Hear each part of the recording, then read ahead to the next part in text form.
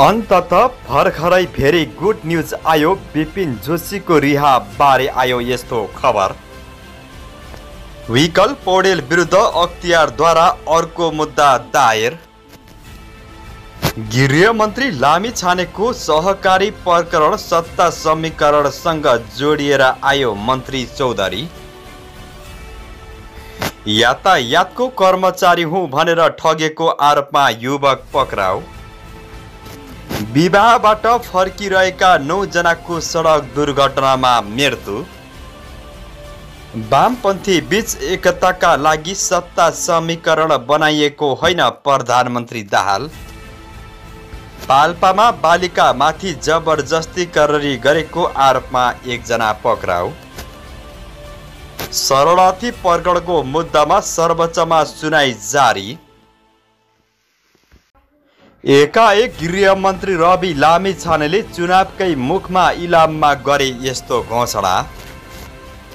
फेरि भर्खरै पाँच थरमा जीव दुर्घटना के कति क्षति भयो त सब जानकारी। दुई मन्त्री नपाएपछि लुम्बिनी सरकारबाट बाहिरियो जसपा। सरकारद्वारा छ सय अठहत्तरजना गर्भवती तथा सुत्केरीको निशुल्क हवाई उपचार नीति तथा कार्यक्रम र बजेटमा सूचना प्रविधि क्षेत्रलाई प्राथमिकतामा राख्छौँ मन्त्री शर्मा। गृह मन्त्रालयले अतिक्रमित भएको जग्गा फिर्ता लिन दियो निर्देशन। भागभन्डा मिलाउन लुम्बिनी र सुदूरपश्चिमका मन्त्रालय फुटाउने तयारी। गण्डकी प्रदेश सभा बैठक अनिश्चित। तरवार प्रहार गरी दुई युवकको हत्या गर्न खोजेको आरोपमा जाहेरी परेपछि निवर्तमान अध्यक्ष फरार। राष्ट्रिय सभा सदस्य बन्न ओलीले गरेको प्रस्ताव उत्साह उषा किरणले गरिन् ठाडो अस्वीकार। भक्तपुरमा बाघको आक्रमणबाट एकजना बालिका घाइते। माओवादीका नेता शर्मा जसपा प्रवेश गर्दै किन गएनन् मन्त्री परिषद बैठकमा एमाले नेता भीम राहुल कारण यस्तो छ? र रूपन्देहीमा नौ घरमा आग लागि के कति क्षति भयो त सब जानकारी। आजको यो भिडियोमा यो सब अपडेटले हजुरमा आज उपस्थित भइसकेको छु। यो सब जानकारी पाउनको लागि भिडियोलाई सुरुदेखि अन्तिमसम्म फलो गर्नुहोला। केही सुझाव सल्लाह छ भने तल कमेन्ट गर्नुहोला। भिडियोलाई सक्दो सेयर गरी सबै नेपालीसम्म पुर्याउन मद्दत पनि गर्नुहोला। हजुरको एउटा सेयरले गर्दाखेरि धेरै नेपालीलाई केही न केही जानकारी मिल्नेछ। मैले आफूले जानेका बुझेका कुराहरू हजुरहरूलाई बताउने गर्दछु। नयाँ आउनुभएको छ अझै पनि हाम्रो इन्फो खबर नेपाल युट्युब च्यानलसँग जोडिनु भएको छैन भने सब्सक्राइब र साथमा रहेको घन्टीलाई दबाई हामीसँगै जोडिनुहोला। अब लागौँ आजको विषयवस्तुतिर। दर्शकबिन मलामीका लागि निशुल्क रूपमा सञ्चालित बसका लागि विराटनगर महानगरपालिकाले इन्धन उपलब्ध गराउने भएको छ। विराटनगरका युवा करिम अन्सारीले मलामीका लागि निशुल्क रूपमा उपलब्ध गराउँदै बसका लागि महानगरले इन्धन उपलब्ध गराउने भएको हो। विराट सेवा आश्रमसँगको सहकार्यमा विराटनगर वार्ड नम्बर दसले अनुसारी र ज्येष्ठ नागरिकको आज सम्मान गरेको थियो। सो सम्मान कार्यक्रममा बोल्दै विराटनगर महानगरपालिकाका प्रमुख नागेश कोइरालाले मलामीका लागि सञ्चालित बसलाई मासिक इन्धन उपलब्ध गराउने घोषणा गरेका हुन्। उनले भने यस्तो पवित्र कार्यमा महानगरपालिका पनि सहभागी हुन चाहन्छ। बसका लागि आवश्यक पर्ने इन्धन महानगरपालिकाले मासिक रूपमै उपलब्ध गराउनेछ। ज्येष्ठ नागरिकका ज्ञान र अनुभवलाई समाजले अनुसरण गर्नुपर्नेमा जोड दिँदै उनले भने ज्येष्ठ नागरिकका अनुभव ज्ञान र सिपलाई अनुसरण नगरेकै कारण समाज पछाडि परेको छ। अनुभवसँगै ज्ञान संस्कार समेत ज्येष्ठ नागरिकबाट सिक्नु अहिलेको आवश्यकता हो। उनले महानगरपालिकाले ज्येष्ठ नागरिकलाई उच्च प्राथमिकतामा राखेर काम गरिरहेको बताएका छन्। महानगरपालिकाले उन्नाइसवटै वडामा घर घर पुगेर ज्येष्ठ नागरिकको स्वास्थ्य जाँच गर्नुका साथै निशुल्क औषधि समेत वितरण गर्दै आइरहेको छ। ज्येष्ठ नागरिकलाई सो अवसरमा कम्बल छाता हर्लिक्स फलफुल प्रदान गरेर सम्मान गरिएको थियो। ओडाभित्र बसोबास गर्ने एक सयजनालाई सम्मान गरिएको ओडा अध्यक्ष अर्जुन गिरीले जानकारी दिए। कार्यक्रममा सम्मानित अनुसारीले ज्येष्ठ नागरिकलाई धार्मिक यात्रामा जानका लागि समेत निशुल्क बस सेवा उपलब्ध गराउँदै आइरहेको छ। त्यस्तै दर्शकबिन राष्ट्रिय स्वतन्त्र पार्टी राजोपाका सभापति एन उपप्रधान तथा गृहमन्त्री रवि लामी छानेले उपनिर्वाचनमा पैसा बाँड्ने जुनसुकै दलका नेता कार्यकर्तालाई कडा कारवाही गरिने बताउनु भएको छ। शनिबार इलामको फाक्कोथोम गाउँपालिका स्थित आमो चोकमा आयोजित चुनाव सभालाई सम्बोधन गर्दै लामी छानेले उपनिर्वाचनको मौन अवधिमा भोट किन्न पैसाको पोको बोकेर गाउँ छिर्ने जो कोहीलाई पनि कडा कारवाही गरिने बताउनु भएको हो। उनले पैसा बाँड्न आउनेको फोटो खिचेर पठाए चौबिस घन्टाभित्र कारवाही गर्ने बताए। मौन अवधिमा धेरै पैसाको चलखेल हुन्छ यदि कसैले पैसा दिन खोज्यो भने फोटो खिचेर गृह मन्त्रालयमा पठाइदिनुहोला उनले भने। चौबिस घन्टाभित्र त्यसलाई कारवाही गर्छौँ। उनले गाउँ गाउँमा पैसा बाँड्दै हिँडेर इलामको भविष्य किन्न खोज्नेलाई सार्वजनिक गरेर आम नागरिक सामु चिनाउने बताए। सुरक्षाकर्मी साथीहरू यही हुनुहुन्छ।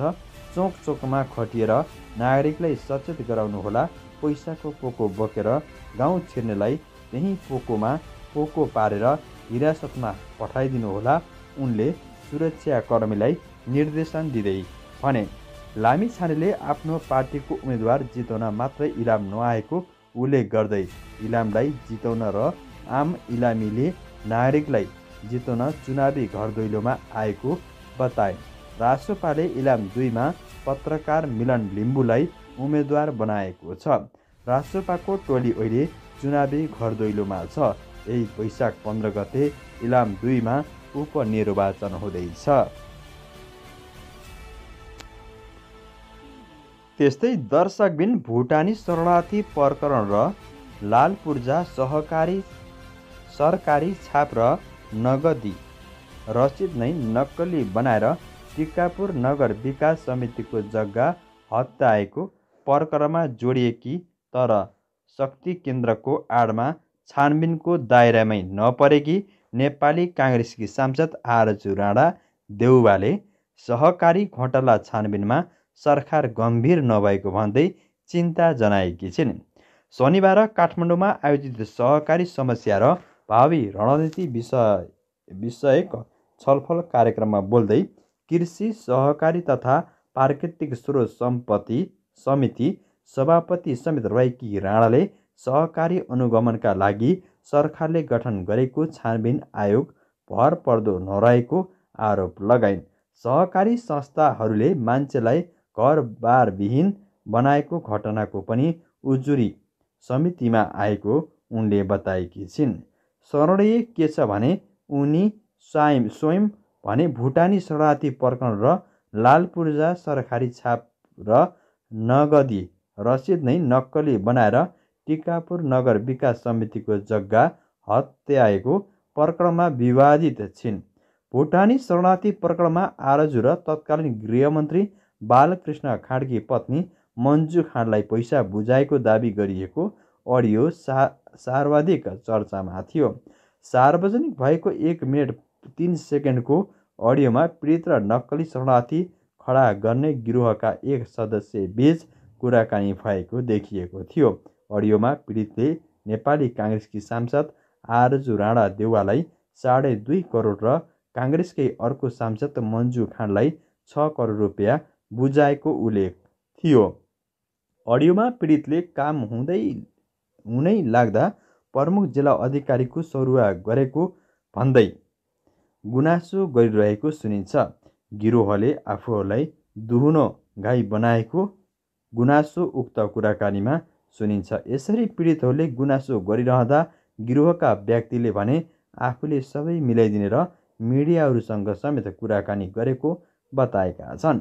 यस विषयलाई आरजुले अस्वीकार गर्दै आएकी छिन्। भने मन्जु भने निकै दिनसम्म सम्पर्कविन भएर एकै पटक प्रतिनिधि सभामा सार्वजनिक भएकी थिइन्। यो प्रकरण अझै पनि निष्पक्ष अनुसन्धान नभएको सर्वत्र गुनासो छ।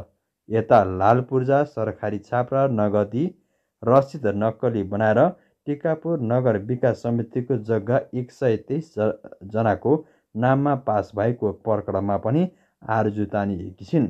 प्रहरीको केन्द्रीय अनुसन्धानले गरेको अनुसन्धानमा विभिन्न मितिमा समितिबाट निर्णय गराएर त्यसको आधारमा किर्ते प्रमाणहरू निर्माण गरी जग्गा व्यक्तिहरूको नाममा गरेको खुलेको छ। अख्तियार दुरुपयोग अनुसन्धान आयोगले समितिका पदाधिकारी र जग्गा धनीहरू विरुद्ध विशेष अदालतमा मुद्दा दायर गरेपछि सरकारी दस्तखत छाप किर्तेमा अनुसन्धान गर्न सिआइबीमा फाइल पठाएको थियो। उक्त फाइलले विधि विज्ञान प्रयोगशालामा गरेको परीक्षणमा सह सरकारी छाप लालपूजा र रसिदहरू नक्कली भएको खुलेको हो। सिआइबीको प्रतिवेदन अनुसार टिकापुर जग्गा किर्ते प्रकरणमा एक हजार बढी अनुसन्धानको दायरामा छन् जसमा चर्चामा रहेका आरजु र नागरिक उन्मुक्ति पार्टीका संरक्षक रेशम चौधरीको नाम छैन। टिकापुर विकास समितिबाट घडेरी लिनेमा आरजु र रेशमको नाम समेत खुलेको थियो। अख्तियारको मुद्दामा यी दुवैको नाम थिएन। सिआइबीले गरेको कृत्यको अनुसन्धानमा समेत यी दुवै दुईबारे केही उल्लेख छैन। नयन बहादुर स्वर टिकापुर विकास समितिको अध्यक्ष भएका बेलामा आरजुको नाममा टिकापुर नगर विकास समितिबाट तिन कट्टा सातुर घडेरी लिएको देखिएको थियो।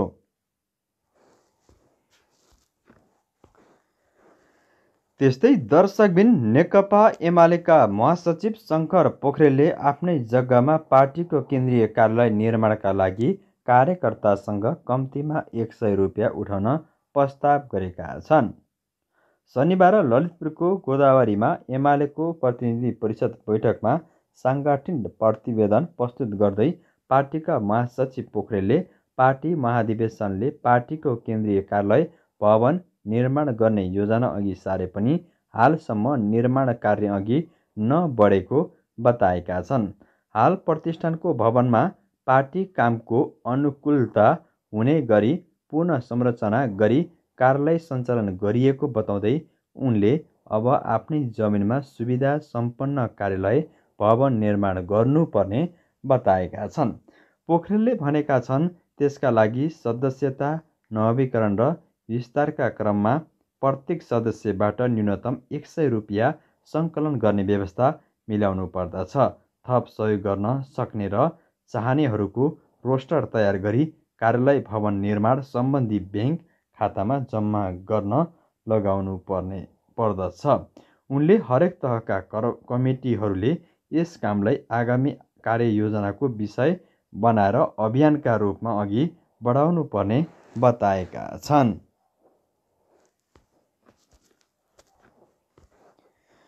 त्यस्तै दर्शकबिन भूमिका स्थान नगरपालिका वार्ड नम्बर तिन र चार धारापानीमा भीषण आगलागीका आगलागी भएको छ।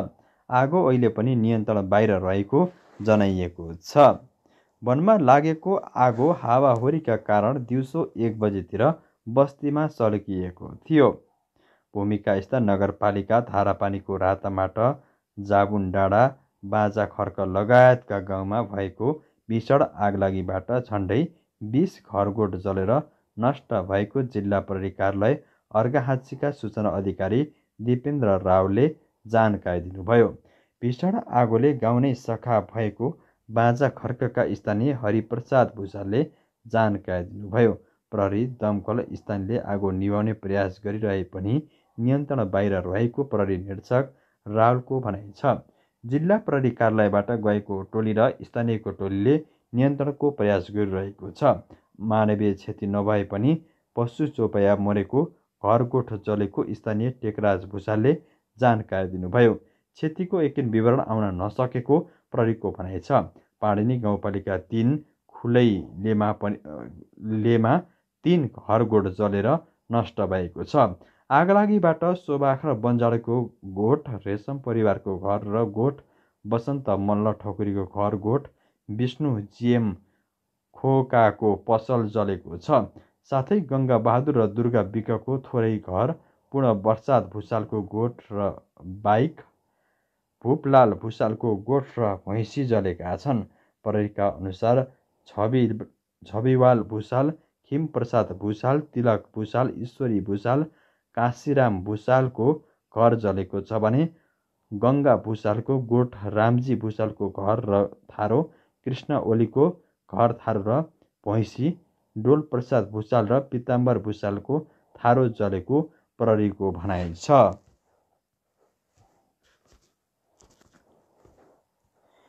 त्यस्तै दर्शकबिन लमजुङको मस्याङ्दी गाउँपालिका पाँच तल्लो चिप्लाको लेकमा चट्याङ पर्दा नौवटा भैँसी मरेका छन्। स्थानीय कालबहादुर गुरुङले पालेको भैँसी चराएर गोठतर्फ फर्काउँदै गर्दा भैँसी माथि एक्कासी चट्याङ बज्रिएको हो। चौधवटा भैँसी रुवाइकोमा पाँचवटा अलि अगाडि भएका कारण जोगिएको स्थानीय राशि गुरुङले जानकारी दिनुभयो। उनका अनुसार शनिबार दिउँसो दुई बजेतिर जङ्गलबाट चराएर फर्कने क्रममा बाटोमा हिँड्दा हिँड्दै चट्याङ लागेर भैँसी मरेका हुन्। गाउँबाट एक घन्टा लाग्ने ठाउँ नम्क्युमा कालबहादुरको गोठ थियो। गोठबाट केही पर थोरै माथि खोलम क्यो भन्ने ठाउँमा भैँसी चराएर फर्कने क्रममा एक्कासी चट्याङ परेको हो। चट्याङ पर्दा चराएर ल्याइएको भैँसी आफ्नै अगाडि मरेको कालबहादुरले बताए। उनका अनुसार चट्याङ लागेर एउटा दुनो भैँसी चारवटा ब्याउनी गर्भिणी भैँसी र चारवटा पाडापाडी मरेका छन्।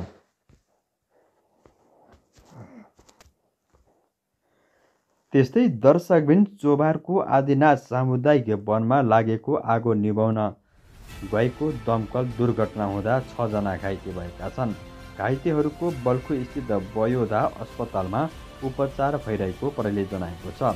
चौबारमा लागेको आगो निभाउन काठमाडौँ महानगरपालिकाबाट गएको दमकल सम्बन्धित ठाउँमा पुग्नु अघि नै दुर्घटनामा परेको प्रहरीले जनाएको छ। उक्त दुर्घटनामा घाइते भएकाहरूको अवस्था भने सामान्य छ।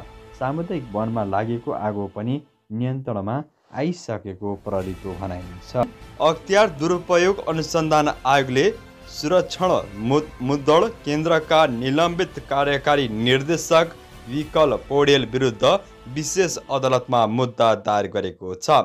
अख्तियारले पौडेल विरुद्ध अमेरिकाको पिआर लिएर पनि सरकारी सेवा सुविधा लिएको आरोपमा आइतबार मुद्दा दायर गरेको प्रवक्ता नरहरि घिमिरेले जानकारी दिनुभयो।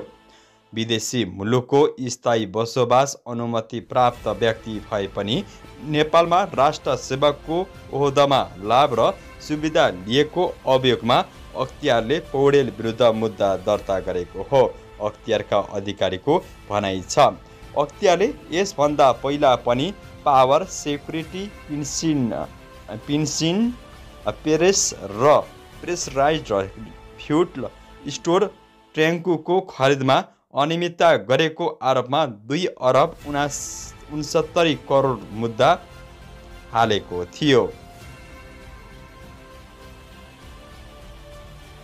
त्यस्तै दर्शकबिन पाल्पामा बाह्र वर्षीय बालिकालाई जबरजस्ती कररी गरेको अभियोगमा एकजना पक्राउ परेका छन्। रम्बा गाउँपालिका दुई बस्ने अडतालिस वर्षीय अम्बर बहादुर सारूलाई प्रहरीले पक्राउ गरेको हो। सारूले ती बालिकालाई गत कार्तिक तेह्र गते पीडितकै घरमा जबरजस्ती करडी गरेको र सोही कारण बालिकाको पेटमा गर्भ रहन गएको भन्ने उजुरीको आधारमा प्रहरी चौकी गुहीबाट खटिएको प्रहरी पक्राउ गरेको जानकारी दिएको छ। यस सम्बन्धमा प्रहरीले आवश्यक अनुसन्धान गरिरहेको छ। त्यस्तै दर्शकबिन यातायातको कर्मचारी हुँ भनेर ठगेको आरोपमा ललितपुरबाट प्रहरीले एकजनालाई पक्राउ गरेको छ। पक्राउ पर्नेमा ललितपुर महानगरपालिका वार्ड नम्बर दुई बस्ने वर्ष पैँतिसका राजु परियार रहेका छन्। यातायात व्यवस्था कार्यालय एकान्ता कुनाबाट गाडीको लाइसेन्स बनाइदिन्छु भनेर उनले रकम असुल्ने गरेको जिल्ला प्रहरी परिषद ललितपुरका एसपी नरेश राज सुवेदीले जानकारी दिनुभयो। आरोपी विरुद्ध पाँचजनाले सामूहिक जारी दिएका छन्। सवारी चालक अनुमति पत्र बनाइदिन्छु भनेर आरोपीले दस हजारदेखि पच्चिस हजारसम्म लिने गरेको प्रहरीको प्रारम्भिक अनुसन्धानबाट थाहा भएको छ। उनी विरुद्ध मुलुकी फौजदारी कार्यविधि संहिता दुई हजार चौहत्तरको दफा चौध तिन बमोजिम ललितपुर जिल्ला अदालतबाट पाँचको म्याद लिएर अनुसन्धान भइरहेको एसपी सुवेदीले जानकारी दिनुभयो। त्यस्तै दर्शकबिन महिला बालबालिका तथा ज्येष्ठ नागरिक मन्त्री भगवती चौधरीले उप प्रधानमन्त्री तथा गृहमन्त्री रवि लामी छानेको सहकारी सम्बन्धी प्रकरण नयाँ सत्ता समीकरणसँग जोडिएर आएको बताएकी छिन्। नेपाल आदिवासी जनजाति पत्रकार महासङ्घ फोनिजले आइतबार काठमाडौँमा आयोजना गरेको एक कार्यक्रममा बोल्दै उनले सो टिप्पणी गरेकी हुन्। पत्रकारिता पेसामा लागेर लामी छानेले उप प्रधान तथा गृहमन्त्री हुनुभएको प्रसङ्ग कोट्याउँदै उनले गृहमन्त्री लामी छानेको विषय अहिले नयाँ सत्ता समीकरणमा पनि जोडिएर आएको बताइन्। पत्रकारितामा आफूले पनि छ महिना काम गरेको उल्लेख गर्दै मन्त्री चौधरीले त्यसमा दुःख भए पनि सम्मानित पेसा भएको बताइन्। उनले पत्रकारिता पेसालाई सम्मानित बनाउन आफूले आफैलाई माहौल बनाउँदै लैजानुपर्ने अवस्था रहेको समेत बताएकी छिन्। मन्त्री चौधरीले नेपालको पत्रकारिता क्षेत्रलाई मर्यादित पेसाको रूपमा अघि बढाउन महत्त्वपूर्ण भूमिका निर्वाह गरेको भन्दै पूर्व प्रधानमन्त्री कृष्ण प्रसाद भट्टराईको स्मरण समेत गरेकी थिइन्।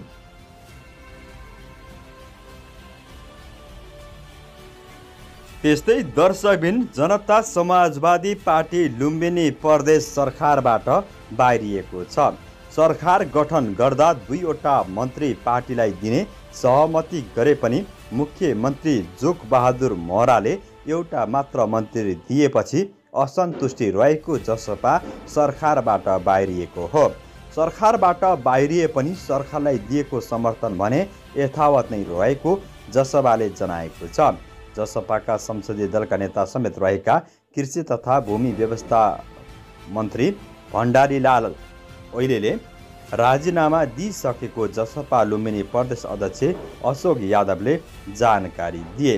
नेकपा माओवादीका नेताहरूसँग जनता समाजवादीलाई दुईजना मन्त्री दिने सहमति गरेकोमा त्यस विपरीत मुख्यमन्त्री मन्त्री परिषद विस्तार गर्दा अपमा अपमानजनक व्यवहार गरेकाले सरकारबाट बाहिरिएको यादवले बताए। लुम्बिनी प्रदेशमा जसपाका तिन सांसद रहेका छन् हामीलाई अपमान गरियो सहमति कार्यान्वयन गरिएन हामी सरकारबाट बाहिरिएका छौँ सहमति कार्यान्वयन भए सरकारमा सहभागी हुन्छौँ अध्यक्ष यादवले भने गएको चैत बाइस गते सत्ता साझेदार दलहरूबीच जनता समाजवादी पार्टीलाई सहकारी विकास तथा पर्यटन मन्त्रालय र कृषि तथा भूमि व्यवस्था मन्त्रालय दिने गरी सहमति भएको थियो।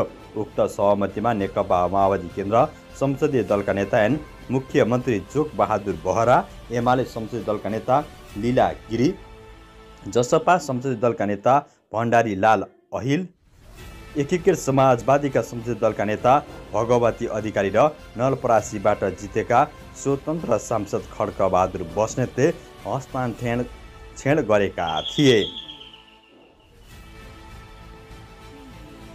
त्यस्तै दर्शकबिन प्रधानमन्त्री पुष्पकमल दाहाल प्रचण्डले प्लेस्ट्यान्ड विद्रोहीको कब्जामा रहेका नेपाली विद्यार्थी विपिन जोशीलाई सकुशल नेपाल फर्काउन सरकारले गम्भीरतापूर्वक कुटनीतिक पहल गरेको बताएका छन्।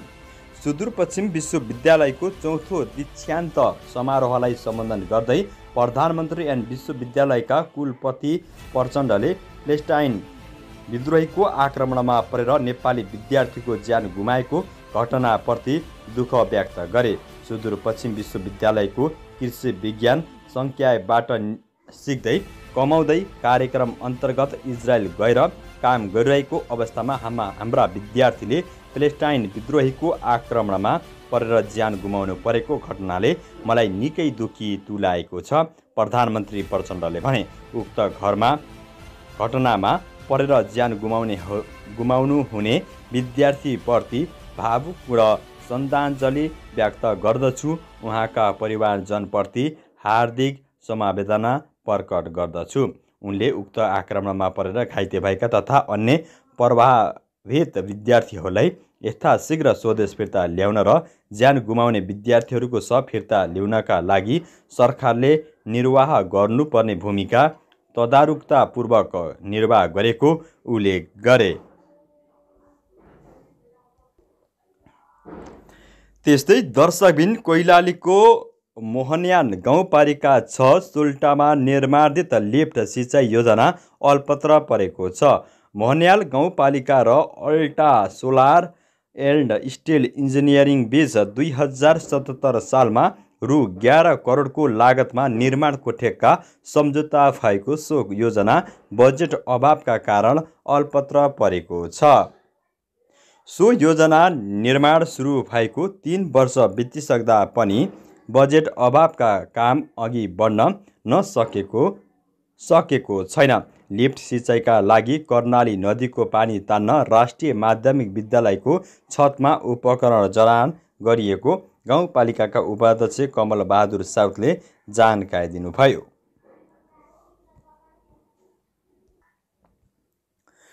त्यस्तै दर्शकबिन मेची राजमार्गको फिदिम ताप्लेजुङ सडक खण्ड अन्तर्गत पाँचथरको हिलिहाङ गाउँपालिका सात सल्लेरीमा जीव दुर्घटना हुँदा चौधजना घाइते भएका छन् भने घाइतेमध्ये सातजनाको अवस्था गम्भीर रहेको छ। जिल्ला प्रहरी कार्यालय पाँचथरका सूचना अधिकारी सुमित कुशवाहाका अनुसार ताप्लेचुङदेखि झापा जाँदै गरेको मे एक ज उन्नाइस सडतालिस नम्बरको जिप आइतबार बिहान दुर्घटनामा परेको थियो। जिप सडकदेखि पचास मिटर तल झरेको छ।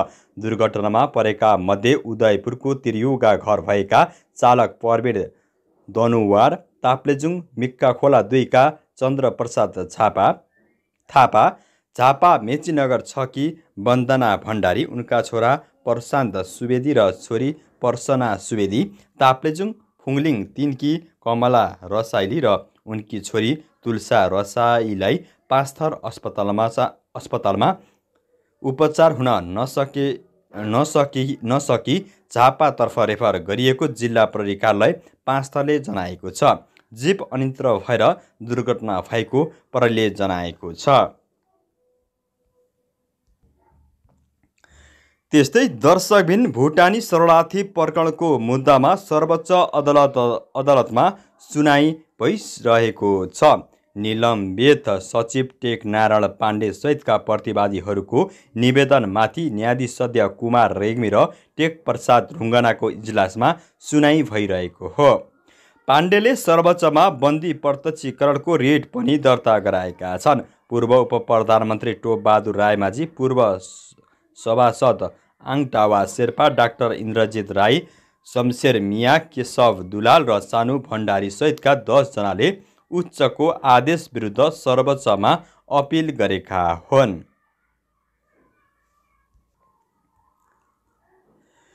त्यस्तै दर्शकबिन प्रधानमन्त्री पुष्पकमल दाहाल प्रचण्डले वामपन्थी बीच अहिले एकताको सम्भावना नरहेको बताएका छन्। आइतबार कोइलालीको धनगढीमा सञ्चारकर्मीसँग कुरा गर्दै तत्काल वाम एकताको सम्भावना नभएको बताएका हुन्। अहिले वाम एकता भन्नु सही पनि छैन किनभने वाम गैरवाम सबै छन्। त्यसैले सत्ता समीकरणमा समीकरणका रूपमा लिएका छौँ। राम्रो काम हुँदै गयो छलफल राम्रो हुँदै गयो समझदारी राम्रो बन्दै गयो भने वामपन्थी विचार मिल्नेहरू एक ठाउँमा हुने सम्भावना पनि बढ्दै जान्छ उनले भने। त्यस्तो भएन भने अप्ठ्यारो स्थिति पनि हुन सक्छ जे भए पनि अहिले वामपन्थी एकता होइन राजनीतिक सत्ता समीकरणका रूपमा मात्र यसलाई हेरिएको छ। यस्तै उनले सरकारको नीति तथा कार्यक्रम बजेट परम्परागत भन्दा फरक तरिकाले ल्याउने प्रयास गरिरहेको बताए बजेटलाई विगतको भन्दा वैज्ञानिक वस्तुवादी बनाउने जनवादी बनाउने किसिमले तयारी भएको प्रधानमन्त्री प्रचण्डको भनाइ छ।